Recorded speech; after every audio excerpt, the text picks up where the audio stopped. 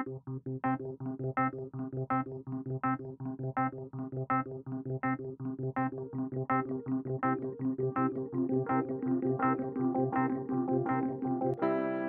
heard about DataFest before. Last year was the pandemic, so it was online. I didn't really sign up for much, so I wanted to be more involved with the statistical scene on campus. My lab group was looking for something to do for our statistics experience and we thought it would be fun. This competition provides me with an opportunity to you know work with real raw data, find insights, ask questions, figure out how do you work with like large data sets.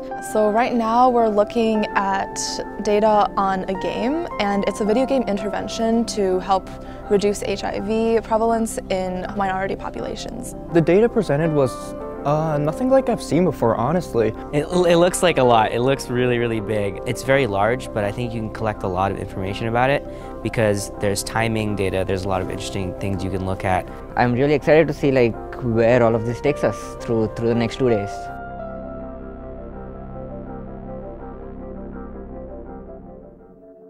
So we're about one day into this experience.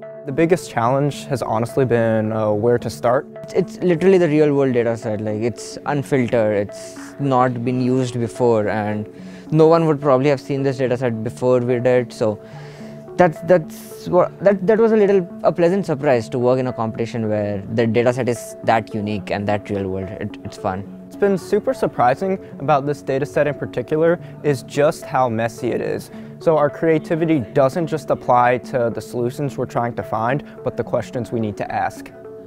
I really like how our team works together. Um, they're really good friends of mine, um, and we all kind of just separate and divide the work and then come together and help each other out. It's been super great talking to people with different majors, different programs, and combining all of our knowledge to hopefully get one good finished product. My weaknesses are someone else's strengths. Uh, we have started collaborating a lot more since we have understood what each person likes and how each person is thinking about. I'm working with statisticians and mathematicians and I'm coming from a management background so it's, it's really great.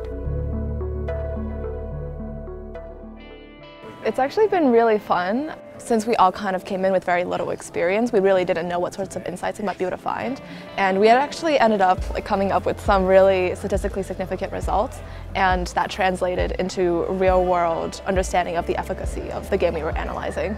I think this experience was amazing for like my personal development. I'm in a class with my friends and we were just talking about the other day how much more we learned applying all of our skills in class to this kind of situation where we're actually given a data set that's not very clean. One thing that I've learned from this experience was what questions to ask and how do you ask them and how do you approach solving a problem when you have a really large data sets. It, it was a great experience. Uh, one of the best weekends I've had this semester for sure even if you have very little experience, you can really learn a lot throughout the course of the time and also make some friendships and have a really fun experience throughout the way.